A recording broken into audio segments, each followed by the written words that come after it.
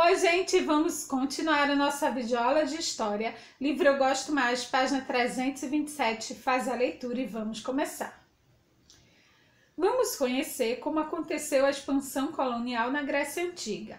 O século 8 a.C. foi marcado por intenso movimento de colonização decorrente da necessidade de terras férteis, por causa do aumento populacional ocorrido na época.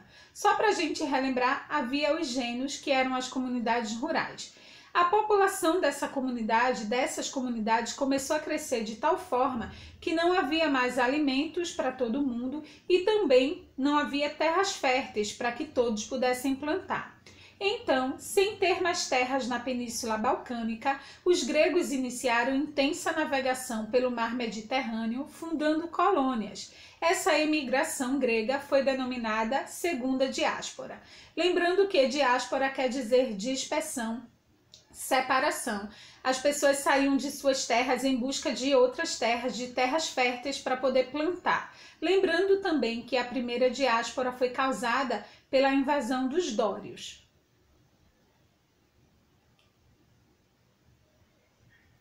As colônias eram politicamente independentes, apesar de manterem vínculos com suas cidades de origem. Consideravam-se pertencentes à comunidade helênica. Não havia grego. Eles eram helênicos. Helênico é relativo a Hélade, que era o nome pelo qual a Grécia Antiga era conhecida. O colonialismo provocou uma expansão da agricultura, da pecuária e do artesanato, tanto nas colônias como na própria Grécia houve desenvolvimento comercial como resultado da abertura de novas rotas, lembrando também, chamando a atenção para uma das principais colônias fundadas nessa época, a colônia de Bizâncio, que mais tarde tornou-se Constantinopla e hoje é Istambul. Agora vamos conhecer um pouco como se deu a formação das cidades-estados ou polis.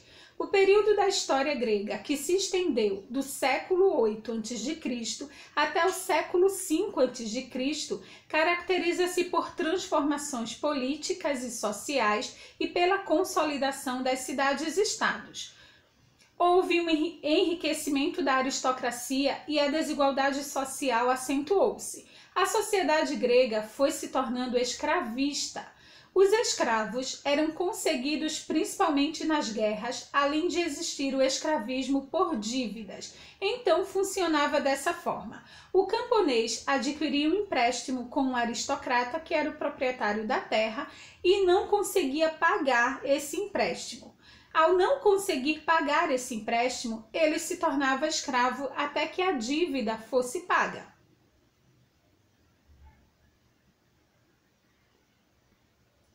As tensões sociais e as crises levaram alguns gênios a se unirem, formando uma frátria.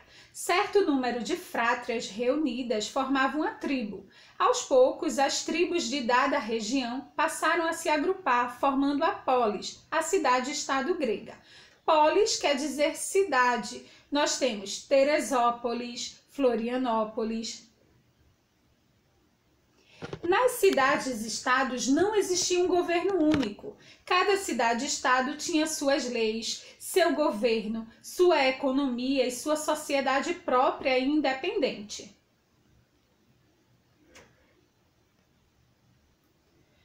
Cada cidade-estado era governada por um rei, o Basileus assessorado por um conselho formado por representantes da aristocracia. Havia também uma assembleia popular composta pelos cidadãos, aqueles que tinham direitos políticos, porque nem todo mundo podia votar. As mulheres não podiam votar, os escravos, os estrangeiros. A Grécia teve inúmeras cidades-estados importantes, dentre elas as quais se destacaram Esparta e Atenas. Agora atenção para essa imagem. O palácio do governo e os templos eram construídos em uma colina fortificada chamada de Acrópole.